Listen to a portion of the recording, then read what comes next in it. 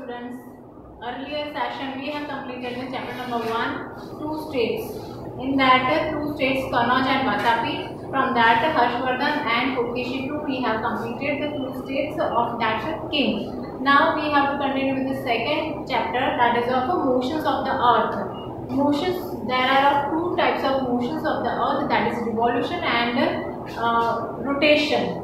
So here we have to continue with the, uh, you have to take the book also have you noticed that the toys that you play with such a as such as tops and uh, dice rotate on their own axis similarly our earth too rotates on its axis तो यहाँ पर आपने बहुत सारे toys देखे होंगे उसमें से टॉप्स मीन्स जो लट्टू कहते हैं वो आपने देखा होगा वो अपने एक्सेस पर घूमता रहता है you must have take ride in ferry in fairs means मेले में अगर आप गए हो तो वहाँ पर आपने फेरी देखा होगा, जिसके अंदर आपको रोटेशन और रिवॉल्यूशन दोनों का आइडिया आएगा।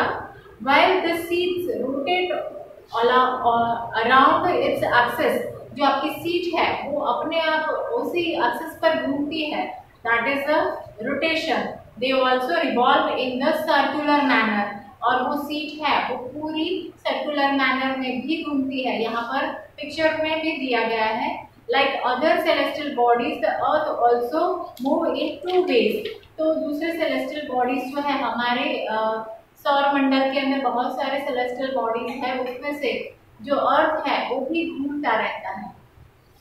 रोटेशन एंड रिवॉल्यूशन जो अर्थ के दो मोशन है, उसको रोटेशन और रिवॉल्यूशन कहा गया है। The earth rotate on its axis and also revolve around the sun. यहाँ पर पिक्चर फॉर्म में आप देख सकते हो सन जो है उसके अर्थ दोनों का पिक्चर दिया गया है तो अर्थ है वो उसके एक्सिस पर घूमती रहती है। So that is the rotation and revolution means sun जो है उसके इर्द गिर्द आस पास अर्थ घूमती है। So that is revolution The earth rotates on its own axis and also revolve around the sun. The moon and the earth are constantly in motions. तो ये दोनों constantly move करते रहते हैं without any disturbance. तो यहाँ पर picture पिक्चरियल form में दिया गया है और एक एग्ज़ाम्पल भी दिया गया पिक्चर के अंदर कि एक पोल है सुबह में आप देखोगे तो आपका जो परछाई है शेडो तो वो कैसा दिखता है दोपहर में कैसा दिखता है? और एट द इवनिंग वो आपके शेडो का जो साइज़ है, वो चेंज होता रहता है। जैसे कि मॉर्निंग में आपका शेडो सनराइज होता है ईस्ट डायरेक्शन में तो वेस्ट में आपका शेडो दिखाई देगा और वो भी लंबा। पर जैसे नून में देखोगे आप आफ्टरनून के अंदर तो वहाँ पर आपका शेडो छोटा सा दिखेगा या फिर कभी नहीं दिखेगा। और एट द इवनिंग वेस्ट के अंदर अगर सन सेट होता है तो उसके ऑपोजिट साइड पर आपका शेडो लंबा दिखेगा। So that are the things you have to keep in mind ये शेडो का डायरेक्शन क्यों चेंज होता है? क्योंकि अर्थ मोशन में है। इसीलिए यहाँ पर एक टेक्स्ट बुक के एट पेज पर एक्टिविटी दी गई है, वो आपको करनी रहेगी। Then, as the Earth uh, rotates on its uh, imaginary axis, the speed of the rotation at uh, any point along the equator is approximately 1670 km per hour. तो उसकी स्पीड भी फिक्स की गई है यहाँ पर जो earth rotate on its axis that is 1670 km per hour that is speed and the earth takes 24 hours to complete one rotation, जो अर्थ है, वो अपने एक्सिस पर घूमता रहता है और वो एक एक्सिस एक्सिस पर एक रोटेशन कंप्लीट करने में उसको 24 आवर्स लगते हैं।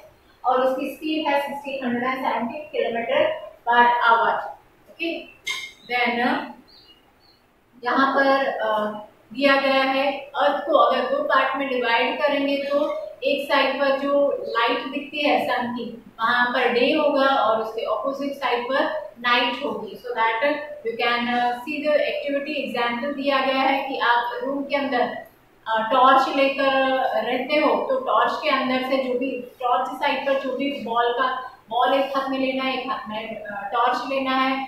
और टॉर्च अंधेरे रूम के अंदर आप टॉर्च को लाइटनिंग करोगे तो बॉल के एक साइड पर उजाला दिखेगा दूसरी साइड पर अंधेरा होगा जो उजाला होगा. वो डे है. हमारे अर्थ हम इमेजिन करते हैं और जहाँ पर अंधेरा है, वहाँ पर नाइट होगी। अर्थ के अंदर भी ऐसा ही है। अर्थ के दोनों साइड पर एक ही साथ में डे नहीं होता है। आधा पार्ट कर लिया जाता है। जहाँ पर सनरेज गिरते हैं, वो डे है और सनरेज नहीं गिरते हैं, वो नाइट है। फिर ट्वेल्व आवर्स के बाद वो अपोजिट डायरेक्शन में चला जाता है। तो जहाँ पर नाइट था, वहाँ पर डे हो जाता है और जहाँ पर डे है, वहाँ पर नाइट हो जाता है। If it is uh, the daytime in India, right, whether it would be day or night in the following countries. तो यहाँ पर अलग अलग कंट्रीज़ के नाम दिए गए हैं। जब इंडिया के अंदर डे टाइम है तब कनाडा के अंदर नाइट रहती है ऑस्ट्रेलिया में भी नाइट रहती है और दूसरे जो टेबल्स के अंदर है कंट्री उसको आपके पेरेंट्स की हेल्प से कंप्लीट करने रहेंगे।